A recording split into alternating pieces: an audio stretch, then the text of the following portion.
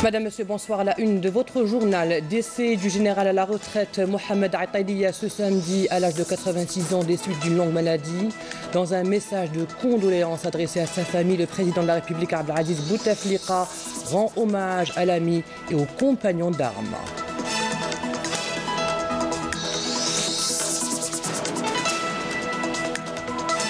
À la veille de la célébration de la Déclaration universelle des droits de l'homme et en application du programme de réforme de la justice et de la bonne gouvernance du président de la République, installation aujourd'hui à Alger de la nouvelle composante de la Commission nationale du droit international humanitaire en Algérie. La Palestine occupée marquée par des manifestations contre la décision de l'administration américaine. Au Caire se tient aujourd'hui une réunion urgente du Conseil de la Ligue arabe en vue d'entreprendre des actions avec la participation de Abdelkader Moussahel. Nous vous proposons dans cette édition de suivre deux reportages. D'abord, le nouveau logiciel Superhook destiné pour une formation gratuite en ligne pour les enfants et un reportage sur la pisciculture à Biskra. L'objectif, aller vers une production maraîchère bio. Le général à la retraite Mohamed Ataïlia est décédé ce samedi à l'hôpital militaire de Ain Nadja Alger à l'âge de 86 ans des suites d'une longue maladie. Né le 7 octobre 1931 à Guelma, le défunt avait occupé plusieurs postes au sein de l'armée nationale populaire, dont celui de chef de la 4e région militaire de 1969 à 1979, puis de la première région militaire de 1979 à 1988. Le dernier poste qu'il avait occupé, c'était celui d'inspecteur général au ministère de la Défense nationale de 1988 à 1990. En cette douloureuse circonstance, le président de la République, Abdelaziz Bouteflika, a adressé un message de condoléances à la famille du Moudjahed, le défunt Mohamed Aitailia. Le président de la République est revenu sur le parcours d'un officier qui a sacrifié sa vie au service de l'armée nationale populaire. Abdelaziz Bouteflika a déclaré avoir reçu avec une grande tristesse et émoi l'information du décès de l'ami et du compagnon d'armes, le haut cadre de l'armée nationale populaire qu'a été Mohamed Ataïlia au terme d'une longue vie de lutte. Le président Abdelaziz Bouteflika a rappelé le parcours de son frère Mohamed Ataïlia durant la guerre de libération nationale, aux côtés d'autres frères et compagnons d'armes, dans une lutte qui a été couronnée par l'indépendance du pays. Une lutte que nul ne pourra effacer des mémoires avant de se mettre au service de l'armée nationale populaire au lendemain de l'indépendance à travers les différents postes de responsabilité qu'il a occupés et qui lui ont permis d'inculquer aux nouvelles générations l'amour de la patrie et leur apprendre à préserver et sauvegarder le pays. Le président de la République a tenu à exprimer sa tristesse suite au décès de Mohamed Ataïlia, une perte pour lui, sa famille et pour tout le pays. Le défunt sera inhumé demain au cimetière d'El Alia à Alger. Inna lillah wa inna ilayhi. Le président de la République, Abdelaziz Bouteflika, a adressé un message de félicitations à son homologue tanzanien John Pombe Magufuli à l'occasion de la fête nationale de son pays, dans lequel lui a exprimé sa disponibilité à œuvrer à l'élargissement de la coopération bilatérale entre l'Algérie et la Tanzanie. Dans le cas de la coopération, le Premier ministre Ahmedou Yahya a reçu ce matin à Alger le directeur exécutif de l'Organisation des Nations Unies pour l'alimentation et l'agriculture FAO, David Bisley. Les entretiens ont eu lieu en présence du ministre de l'Agriculture Abdelkader Bouazgi et du secrétaire général du ministère des Affaires étrangères.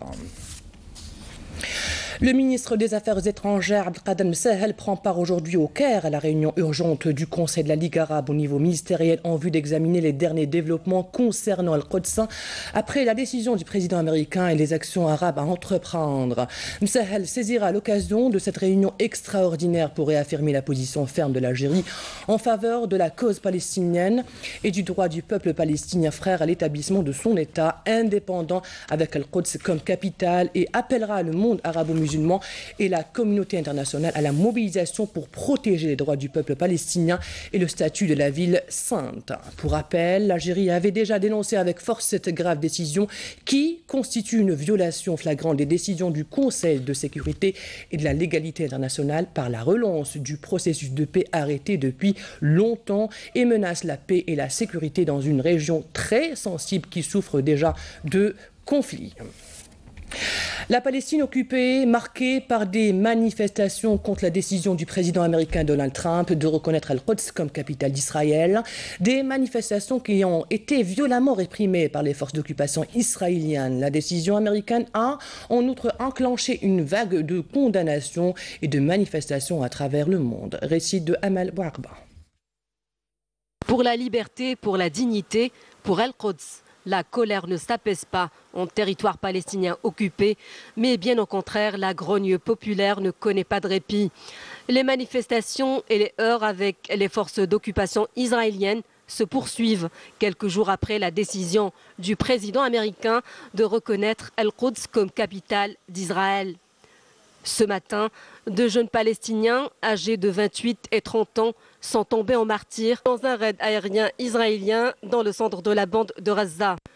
Des dizaines de blessés ont été également enregistrés, dont des femmes et des enfants. Les Palestiniens se révoltent haut et fort contre une démarche considérée comme un nouveau Balfour qui vient en violation du droit international et des décisions de l'Assemblée générale des Nations unies. Pour les Palestiniens, plus que jamais mobilisés, c'est là une occasion de réaliser une véritable union de toutes les factions politique pour lutter contre la colonisation israélienne. Cette grave décision unilatérale de Donald Trump est fortement condamnée par de nombreux pays dans le monde et par le Conseil de sécurité des Nations Unies. Plusieurs rassemblements sont organisés un peu partout en signe de protestation. Toutefois, ces indignations et ces condamnations n'ont aucune signification si elles ne sont pas suivies de mesures concrètes pour la mise en œuvre du droit international des Palestiniens trop longtemps bafoués. L'Algérie co-organise avec la Commission de l'Union africaine demain dimanche et lundi à Oran une conférence de haut niveau sur le thème réponse effective et durable contre le terrorisme, approche régionale. Cette conférence de haut niveau entre dans le cadre du mandat confié au président de la République par ses pairs de l'Union africaine en tant que coordonnateur des efforts de l'Union africaine dans le domaine de la prévention et de lutte contre le terrorisme. Les travaux de cette réunion seront ouverts par le ministre des Affaires étrangères Abdelkader dans l'après-midi du dimanche et s'étaleront sur deux jours. À Alger, le ministre de la Justice, garde des Sceaux, Tayeb a reçu son homologue libyen. Les entretiens ont porté sur la consolidation des relations bilatérales qui lient l'Algérie et la Libye. Coïncident avec l'anniversaire de la Déclaration universelle des droits de l'homme et de la promulgation de la Convention de Genève, le ministre de la Justice, garde des Sceaux, a procédé ce samedi à la Cour suprême à Alger en présence, de membres du gouvernement ainsi que des présidents et de représentants d'organismes nationaux et internationaux à l'installation de la nouvelle composante de la Commission nationale du droit international humanitaire en Algérie.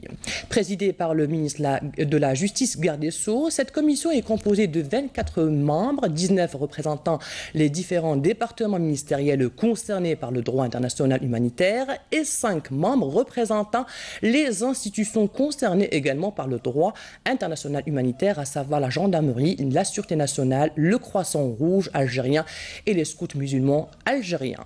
La Commission nationale du droit international humanitaire a été créée en vertu du décret présidentiel numéro 863 du 4 juin 2008 et sa composante a été renouvelée par arrêté du ministre de la Justice le 20 octobre 2011 pour un mandat de trois années renouvelable. Et je vous propose maintenant d'écouter la déclaration de Taïeb Loha.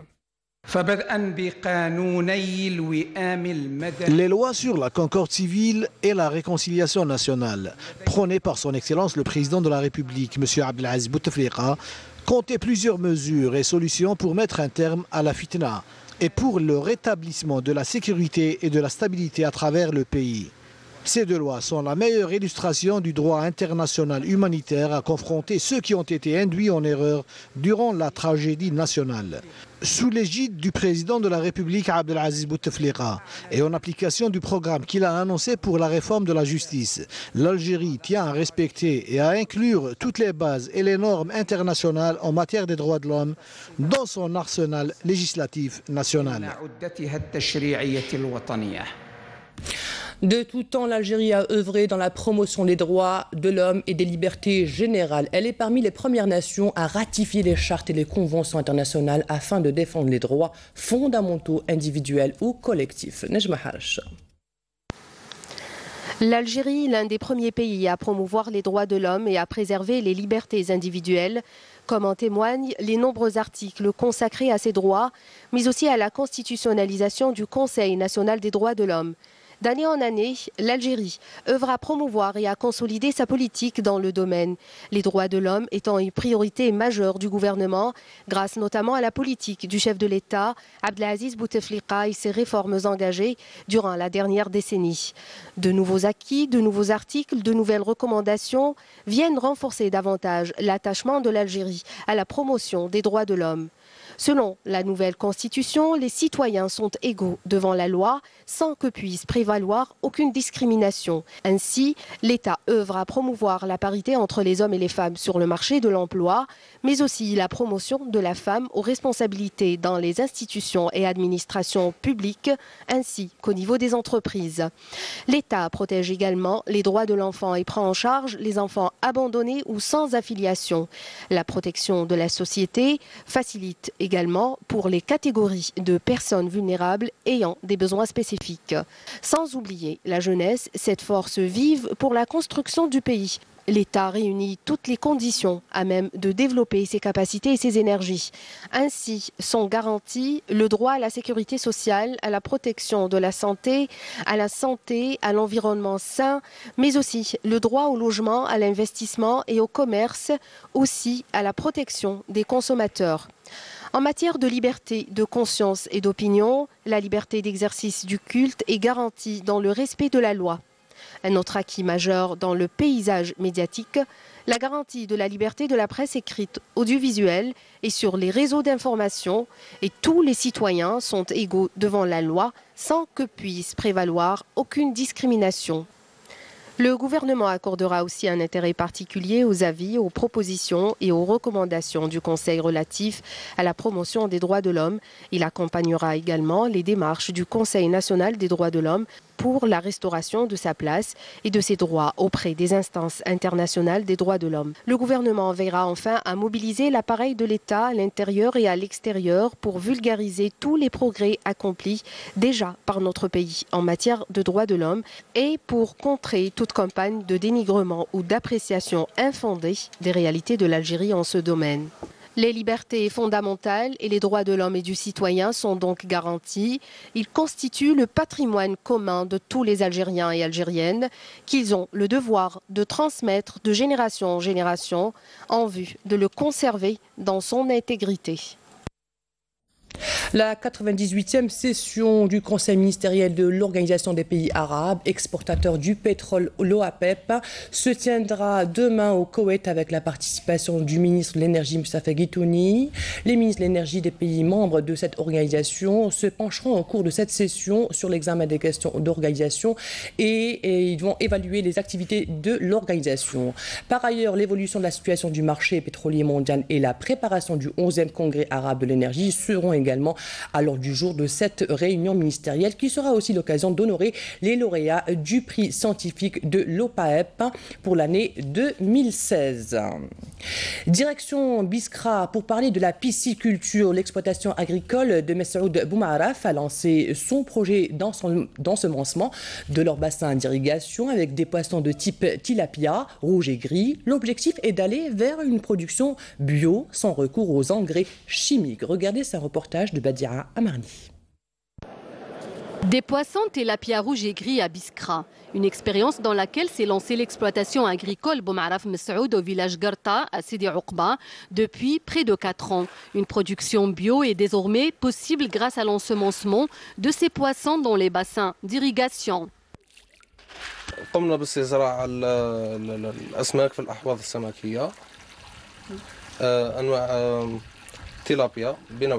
Au début, c'était un projet agricole intégré. Nous avons eu recours à l'ensemencement pour la fertilisation de nos terres. L'opération a donné des résultats probants et permis d'avoir une production bio. On peut se passer des engrais chimiques et se contenter des engrais biologiques engendrés par ces poissons.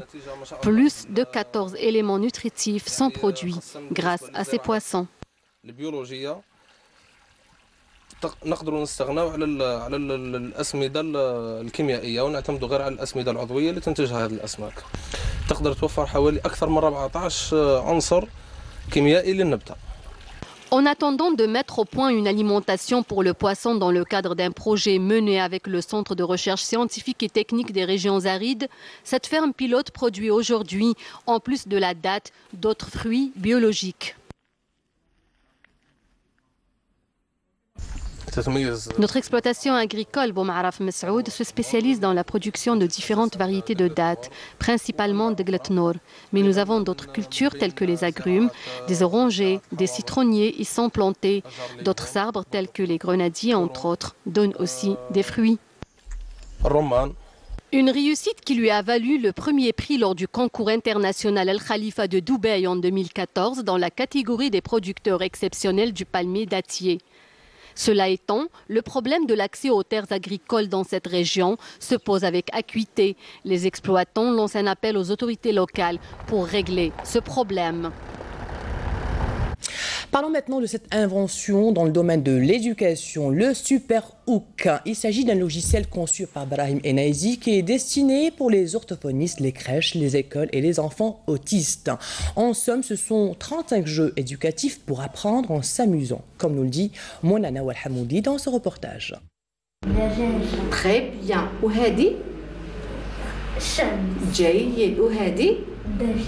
Très bien. Très bien.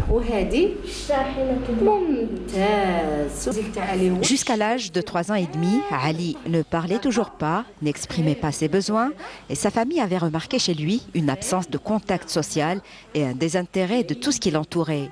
Le diagnostic avait révélé une forme d'autisme peu sévère chez lui. Aujourd'hui, grâce à l'accompagnement et le suivi de sa famille, cet enfant de 9 ans a fait d'énormes progrès. Il arrive à se concentrer, à lire et à distinguer les différents objets et couleurs. Les fonctions cognitives chez Ali se sont nettement développées grâce également à la méthode SuperHook, une plateforme d'apprentissage innovante 100% en ligne conçue par des ingénieurs, des orthophonistes et des psychologues algériens. D'habitude, en tant que spécialiste, on cherche euh, dans des librairies à travers euh, des jeux, etc. Et ça ne donne pas le son exact. Mais par rapport au logiciel, c'est-à-dire c'est le concret. L'enfant va regarder l'image et en parallèle, il va entendre le son. Par exemple, la, perception visuelle, il va reconnaître les objets et les formes et les couleurs. Et c'est un jeu, c'est-à-dire le, monde des enfants, c'est les couleurs. Et puis c'est quelque chose de nouveau, ça veut dire le data show, on fait euh, une projection et l'enfant il est dans un autre monde, ça veut dire travail, quand on va travailler à l'enfant comme on le faisait auparavant, c'était le face-à-face, il devait... Mais comme ça, ça veut dire c'est, on lui donne une liberté. Il va se lever, il va, il va y aller, même s'il ne va pas reconnaître à force de nommer ça, c'est la couleur rouge, bravo, ça c'est la couleur jaune, très bien. Et c'est... Euh, le créateur de cette méthode est Brahim Henaizi, un informaticien qui s'intéresse depuis trois ans à développer des outils pédagogiques pour aider les enfants en difficulté. Là, il y a une logique. Des sons, des images, des couleurs et des jeux interactifs en différentes langues ont été développés à travers cette plateforme. Des moyens destinés à aider les enfants souffrant d'autisme ou d'autres formes de retard à développer leur potentiel intellectuel. Cette méthode qui commence à donner ses fruits est le résultat de plusieurs années de recherche. Donc on travaille avec euh, plus de 10 ans avec des orthophonistes européens. Et puis donc on est venu, euh, on a pensé donc aussi à nos, à nos amis algériens. Et on s'est dit, voilà, parce qu'il y a beaucoup d'autistes et beaucoup de problèmes d'échecs scolaires. Et on a fait donc ce logiciel. Donc on, a, donc on avait des rencontres, on a, on a, étudié un petit peu et rencontré des psychologues, des psychologues, des orthophonistes algériens avant pouvoir faire l'étude il y a trois ans. Et puis après trois ans, donc on a fait, euh, on a fait des maquettes, on leur a proposé ce qu'on veut faire. Et puis, il y, a, des corrections, des évolutions. Et il restera, le logiciel, il restera toujours être euh, dans l'évolution. Donc, on va encore ajouter certaines choses qui nous ont proposées récemment, des chercheurs, des, euh, euh, des médecins, des pédiatres. Donc ils nous ont proposé des choses et puis on va les ajouter bientôt, Inch'Allah, dans le, le, logiciel. La société Superhook dispense des formations gratuites concernant l'usage de ce logiciel. Depuis sa mise en ligne il y a deux mois de cela, le site Superhook compte aujourd'hui 500 inscrits et 40 abonnés à travers le pays. Les jeunes, force et volonté pour imposer l'indépendance et parachever la souveraineté, le slogan du 9e congrès de l'Union de la jeunesse sahraoui, dont les travaux ont débuté hier. Cette rencontre a regroupé de nombreuses associations, organisations juvéniles internationales qui soutiennent la cause sahraoui, notamment l'Algérie. Kamela Melal. Venant des quatre coins du monde, notamment de l'Espagne et du continent américain, plusieurs organisations et mouvements de jeunes et de solidarité avec le peuple sahraoui ont pris part à ce congrès dont l'allocution d'ouverture a été prononcée par le président sahraoui et secrétaire général du Front Polisario, Brahim Ghali, qui a exhorté les jeunes sahraouis à relever les défis et à poursuivre la lutte jusqu'au recouvrement de l'indépendance. Ibrahim Ghali a appelé dans ce sens à l'intensification des efforts pour la réussite du congrès. Le 9e congrès de l'Union de la jeunesse sahraoui dédié au shahid Sid Ahmed Mohamed Mbarak est le couronnement de longues expériences de cette organisation juvénile. La participation de l'État sahraoui au sommet d'Abidjan constitue un fort message pour le royaume marocain afin de mettre un terme à sa politique de répression et d'intimidation. Et à cette occasion, je tiens à exprimer mes remerciements aux participants, en premier lieu à l'Algérie. Les présents à cette rencontre ont tenu à réitérer toute leur solidarité avec le peuple sahraoui. À travers ce congrès, les jeunes appellent à l'élection du bureau exécutif et du secrétaire général pour l'Union de la jeunesse de Seria Al-Hamra et Oued Dheb. Cette rencontre nous a permis de côtoyer les réfugiés sahraouis et de connaître davantage leurs préoccupations, mais aussi c'est une occasion pour exprimer notre solidarité. Je suis d'origine turque et je vis actuellement en Allemagne. Je suis venu aujourd'hui participer à ce congrès pour apporter ma solidarité au peuple sahraoui. Avec le peuple sahraoui, avec mon cœur, avec mon esprit, avec mon corps, avec tout. Parce que j'ai vu que c'était vraiment une lutte. Le congrès se poursuivra encore jusqu'à demain, dimanche. Place au sport mécanique avec la troisième édition du rallye Challenge Sahari International. Aujourd'hui, la quatrième étape a été consacrée à une boucle dans l'ergue occidentale, soit 147 km à Tarit, dans la wilaya de Béchar. Voici la bâtiche, reportage. Les participants du rallye Sahari International ont vécu une très belle étape de 165 km de Tarit en Tarit en boucle. Les pilotes ont eu un avant-goût de la beauté féerique du sud algérien, Territ, la perle de la Saoura. Cette troisième étape était dure, très difficile et pleine de pièges avec des franchissements de dunes. Cette dure étape a permis aux concurrents de vivre leur passion et d'évaluer leur endurance sur le terrain.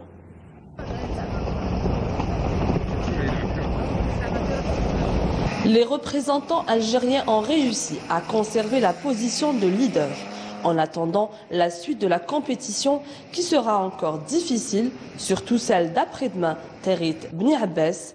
Cette étape sera déterminante. The race is fantastic.